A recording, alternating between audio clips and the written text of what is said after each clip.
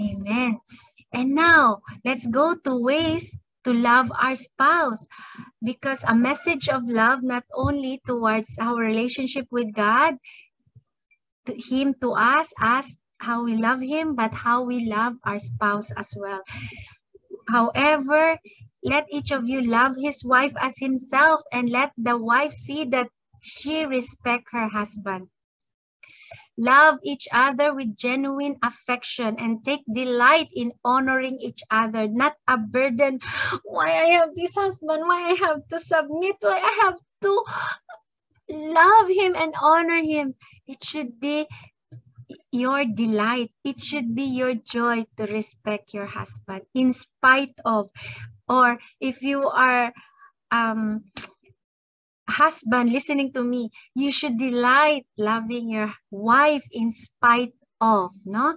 And please put your name instead of love, you put your name.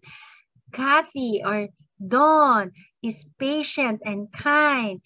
So be patient and kind with each other like that. Love is not boastful or proud. So put your name there.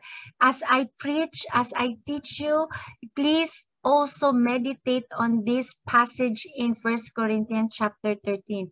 So refuse to allow the poison of pride to taint our relationship. Love is not self-seeking. Me, me, me, I want this, I want that. So it shouldn't be like that. So choose to put our family needs ahead of your own. What else? Naghang. Okay, love is not easily angered. So allow no place for spite or hostility in our home. Love keeps no record of wrong, so allow grace and forgiveness to flow freely. Love rejoices with truth, so refuse to deceive or keep secret from each other. So, especially when you are a couple, no? Be truthful to one another. Never keep secret kasi it not good for your relationship. Always protects and persevere, so never give up on each other no matter what. Hold on.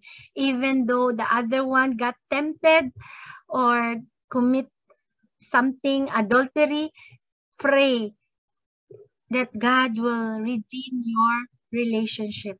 Never give up on each other. May God help us.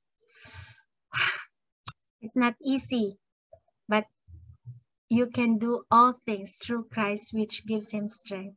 When you apply God's word, God will enable you, help you, carry you through. Hold on to God. Don't give up on your marriage. Husband, live with your wives in an understanding way. Honor, showing honor to the woman as the weaker vessel since they are heirs with you of the grace of life so that your prayers may not be hindered.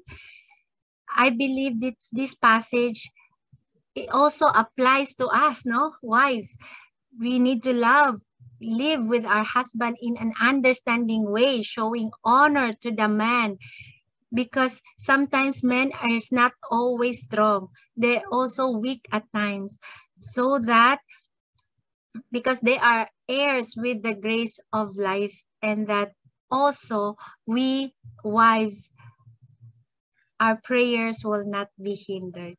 So the way to show the love your spouse is to communicate and look at them in the eye, no? Not on your gadget. Talagas quality time. Pray together, read God's word together, hug, cuddle, cherish each other physically, emotionally, and in everything you do watch movie together eat together sing together play together all these things. So i hope we will love our partner while they are still around. Life is short. We never know when is our last. So in spite of still continue to love. What you sow you will reap.